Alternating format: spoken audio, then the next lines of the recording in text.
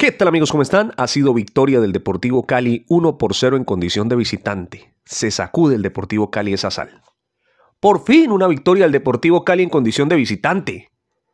Un triunfo ponderable por el planteamiento defensivo, aunque también hay que decir que Pasto tiene muy poca efectividad. Que es un equipo muy débil, es un equipo que poco gestiona jugadas de gol y es un equipo que no tiene un delantero que marque goles. Treyes ya no le hace gol absolutamente a nadie. Y el mejor jugador, que era este muchacho Bernal, señoras y señores, se lesiona para bien del Deportivo Cali. Un Deportivo Cali ganando al estilo Jaime de la Pava. Porque este compromiso hoy es el estilo Jaime de la Pava. Yo hoy voy a resaltar lo positivo porque quiero empezar con eso. El triunfo tenía que darse. En la situación que está el Cali y juegue bien, mal, regular, tiene que ganar. Ante Medellín jugamos muy bonito y, perdimos. Hoy ante Pasto jugamos regular, no voy a decir mal, regular. Tuvimos dos oportunidades de gol. Las dos generadas por Juan José Córdoba en la primera parte. Una adentro y la otra por fuera. De resto, nada más del Deportivo Cali en ataque. Eh, usted escuchaba a los comentaristas que decían, no, que el orden defensivo del Cali, que el Cali es un cerrojo en la parte de atrás. Pero también hay que decir que el Deportivo Pasto es un equipo demasiado flágido. El mismo planteamiento que vi hoy fue el mismo planteo que vi ante Santa Fe. Lo que pasa es que Santa Fe sí tenía quien la metiera. Tenía jugadores importantes como Gerson González, como Hugo Rodallega. Y es aquí donde yo me pregunto, ¿qué Deportivo Cali queremos ver? ¿El Deportivo Cali que nos ilusiona? ¿Que tiene jugadores que son determinantes? Yo entiendo el tema de la altura. Pero no podemos meternos siempre eso en la cabeza. Hoy resalto el triunfo del Deportivo Cali es muy importante. Y qué bien por el Cali se pone en la posición número 3. Y estoy feliz por los tres puntos. Pero futbolísticamente, tengo que ser sincero con usted. Hoy el equipo no jugó bien. Me gustaron rendimientos de algunos jugadores. Por ejemplo, Córdoba, señor golazo. Es el goleador de la liga. Ese muchacho está dulce con el gol. Eso es algo muy positivo. Me gustó mucho lo de Reina en el primer tiempo. Oiga, qué, qué buen primer tiempo se jugó Reina. Marulanda me parece que soportó al mejor jugador del conjunto deportivo Pasto, que era Bernal.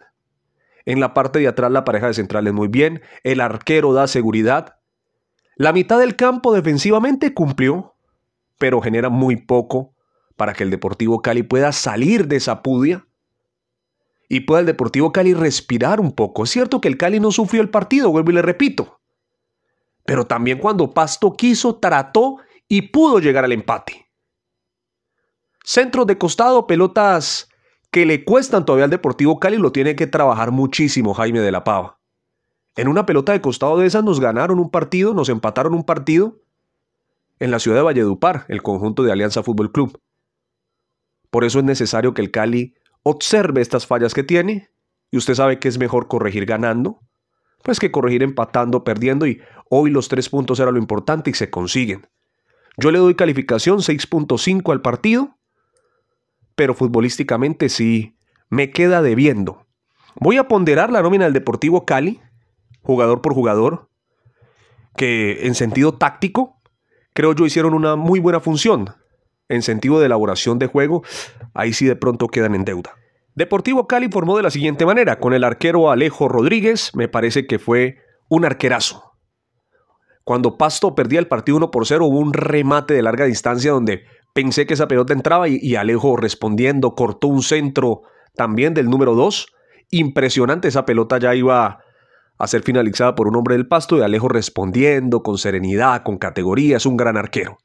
Calificación de 7.8. Marulanda, pese a la amarilla, que me parece una amarilla demasiado injusta también, fue el mejor de atrás. Calificación de 7.8. Pacho Mesa ha mejorado muchísimo en defensa. Se nota que está entrenando, se nota que tiene el ritmo y poco a poco va ganando confianza. Montaño, por su banda, poco hizo el Deportivo Pasto. Aguantó bien el compromiso, calificación de 7.1. Gómez, para no ser titular del Cali, me parece que no lo hizo mal. Sí, tiene cositas que corregir. Calificación de 7.6, de Montaño 7.5.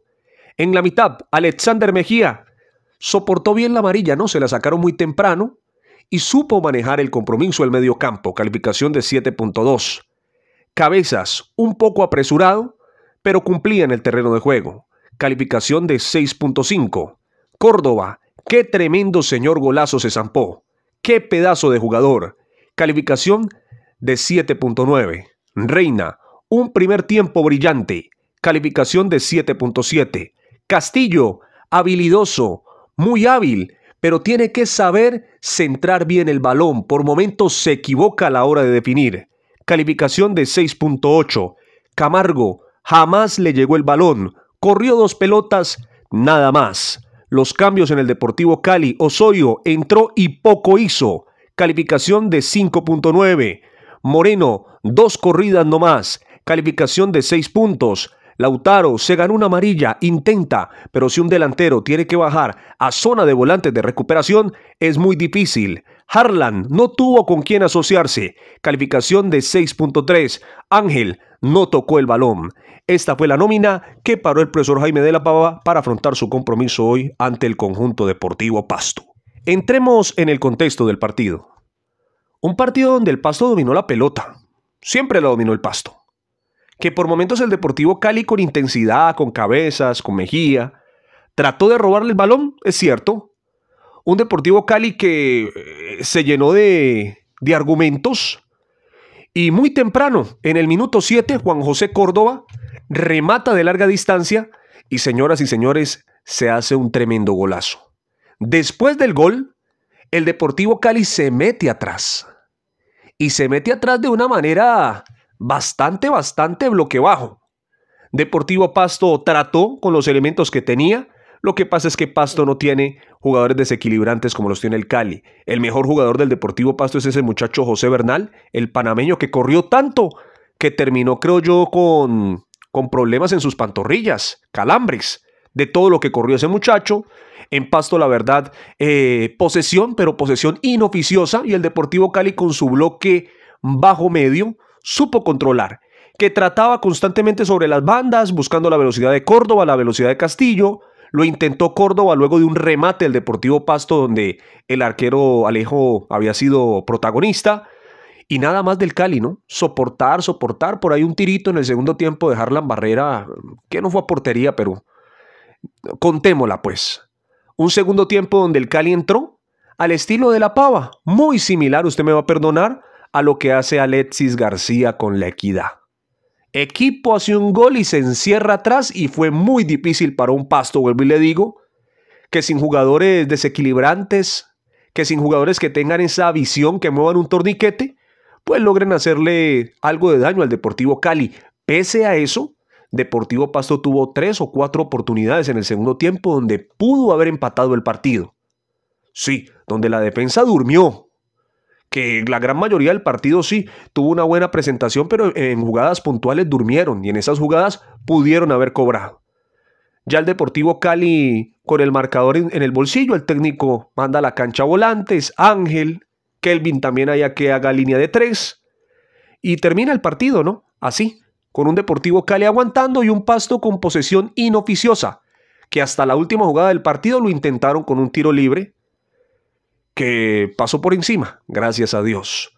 Con esta victoria al Deportivo Cali, el equipo verde y blanco se pone tercero con 14 puntos. Lo que pasa, vuelvo y le digo, no se emocione ya mucho, es que, es que hay que mirar la tabla.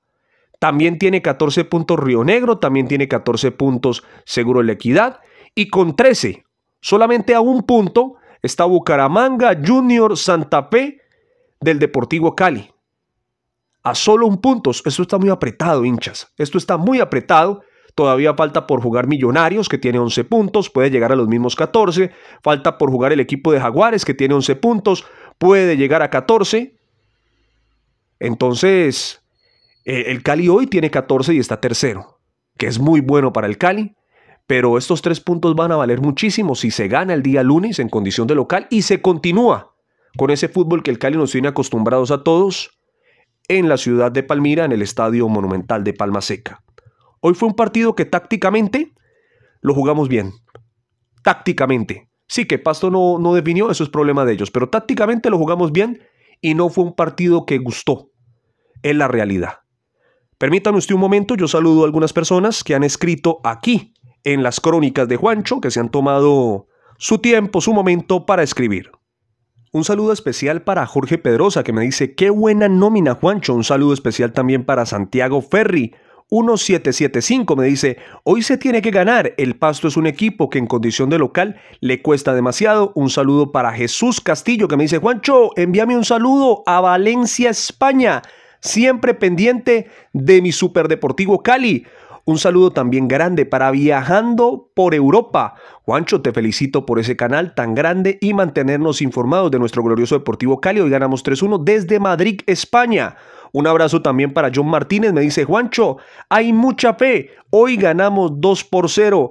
Háblame, un abrazo para todos ellos y ustedes que me han escrito que de pronto hoy no los pude saludar. Cogí cinco personas de forma aleatoria.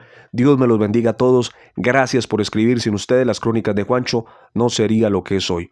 Un abrazo para todos y felicidades. Fue triunfo del Deportivo Cali y seguramente mejoramos nuestro fútbol y el lunes nos ponemos como líderes.